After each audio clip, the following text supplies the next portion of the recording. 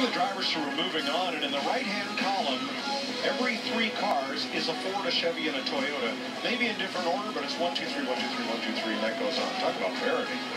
But 24 drivers move on to round two and have to make that big commitment down to turn one and look at the top speeds There's that we observed in round one. There's the chart I really like. We're going to keep monitoring that. That is awesome. 218 plus mile per hour for Michael McDowell going into turn one. And he's and he's sitting there in uh, 18th position with that kind of straightaway And speed. look at his car number. Who, who does he share that car number with? Lightning McQueen. That's how. And, and believe, that was the second time out for McDowell. He had a little heat in those tires. He came to the green by carrying a lot more speed through three and four. So look for some more of these to uh, to pick up that top speed. Now, one of the cars that did not jump out there right away is Kevin Harvick. It's up here ever so slightly. Yeah, that's what we're just talking to Wally about. It starts, it looks like we're going to get a little bit of rain. Middle of this session, and not everybody's made a lap. They'll revert back to the first session. So I don't want to burn the tires up for no reason, you know? In other words, if we don't make a lap and everybody else does, that's one car that didn't make a lap, and that means they revert back to the other session.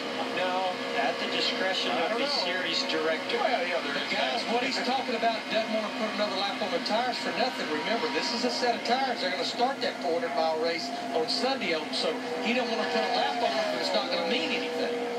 Larry, we fall back to the rule.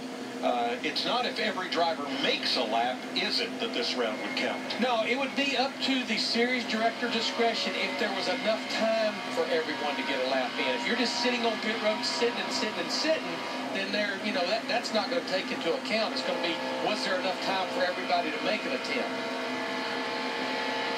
Some rain in the area. It's just a couple little showers now and then. Yeah, but when you're doing 218 miles per hour into turn one, you don't want to see anything on the windshield except for the track coming at you. And that's up to the discretion of the series director. What would a raindrop look like at 218 miles per hour? Found like a bug notice. So, looks like a storm. I tell you what it looks like, Larry. It, it, looks like you're going backwards because that's what is going to happen when there's too much rain. How do you Logano to the top? How do I you know, know? I definitely know. I love when Jeff starts talking about stuff like that. How do you know that? Well, there's a reason.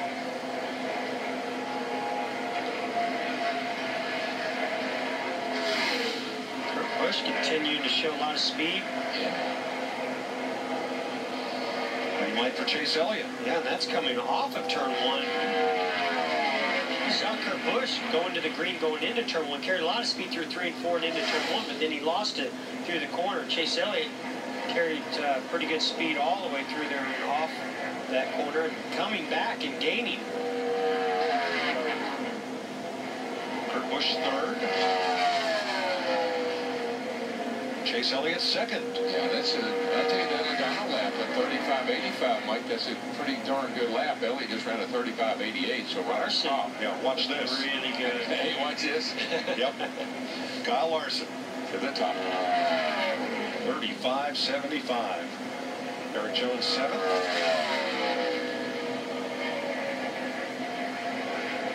Ryan Blaney gaining.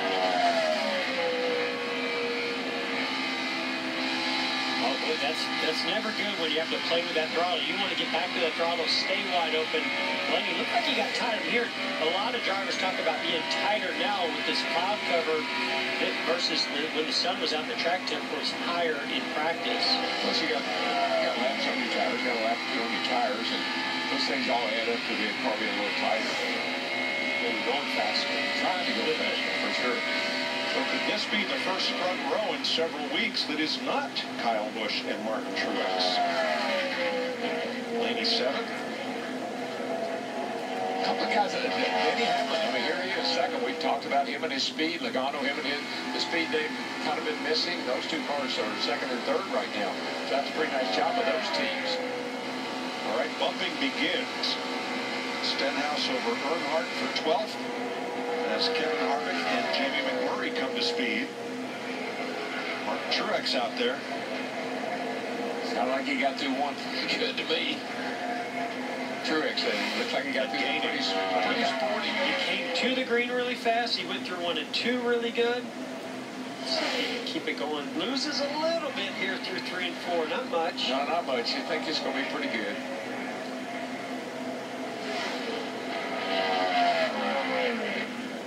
Of the board for Martin Truex, 35-70. Pretty good.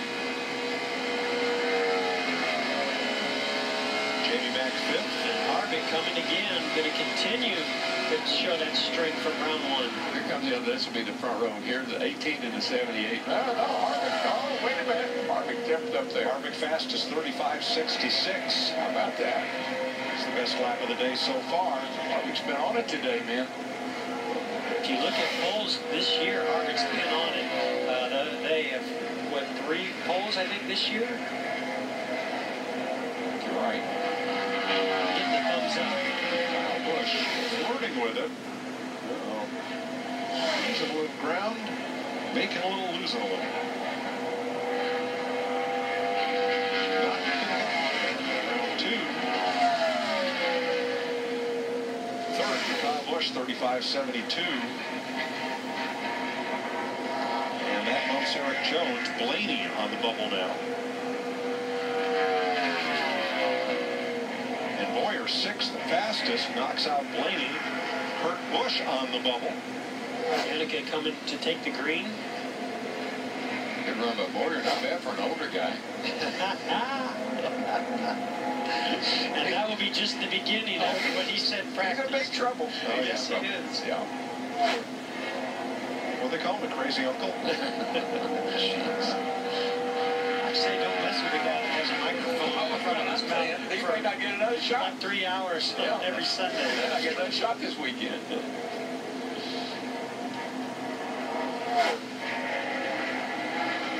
Harvick's lap time here in round two is faster than the pole was last August, and that was the fastest pole in all of 2016.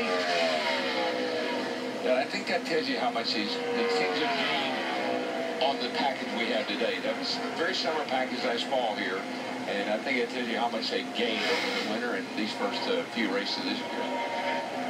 Danica 18th, Ty Dillon and Brad Keselowski out there. 19 cars have run.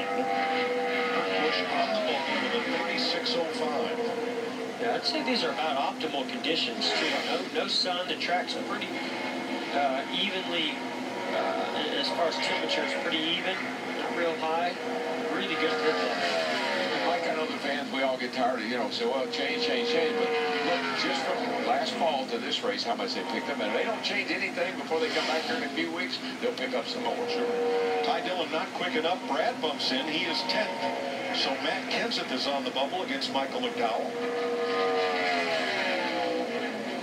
And McDowell is 19th. Ryan Newman. See if he can bump in.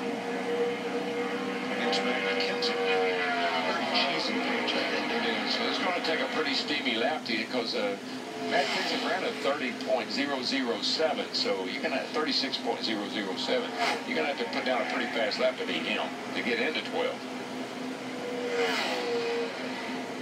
17th for Newman. Remember, a lot of these cars that are going up now made late runs in round one, so they've been waiting for their tires, for their engine, the water, and oil to cool down to optimal temperatures to make their next run. Guys, if you're going to make a lap in this round two, we're down to about a minute 45. Several cars. They're going to need to be rolling somewhere around 40 seconds to go to get that lap started. So not much time left on the clock here. I'm seeing Ryan Blaney in the 21 moving down pit road right now. Probably going to try to make another run. Comes on his second run. Daniel Suarez on the left. Dillon's car, you'll see what look like faded red stripes between the three and the Dow, and those are names of veterans. It's Dow and RCR saluting veterans. There are more than 1,100 names on that car that uh, make up those stripes behind the number three, very faintly. But you can read those names if you're up next to that car in the garage area. And Mike, he's finished in the top 10 uh, two of the last three races here.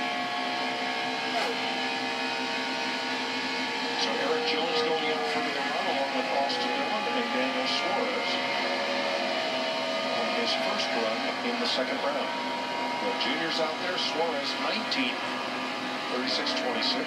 Really see a lot of drivers go into the green. They're coming to the green flag, and they go into the green into turn one, but they very rarely maintain that as they get through one and two. Yeah, you haven't scared yourself yet. Come to the green. it's when you get down into turn one about 215, you say, oh, what am I thinking? Junior picks up a little bit, but still 16. Erik Jones. Yeah, he goes into 12, knocks Kenseth into 13. Now, is Blaney going to bump in from 15 against Erik Jones? Trying with it. He's trying. Yes, he did it. can come back. All. Blaney's in. He's eighth. Erik Jones is out. Jimmie Johnson is now on the bubble. Matt Kenseth's going to finish up his run. Kasey Kahne. Kenseth good uh, night. Oh, he got off at turn yeah, four, really good. Pretty good lap here for Matt Kenseth. That's going to knock him to 48 out, looks like.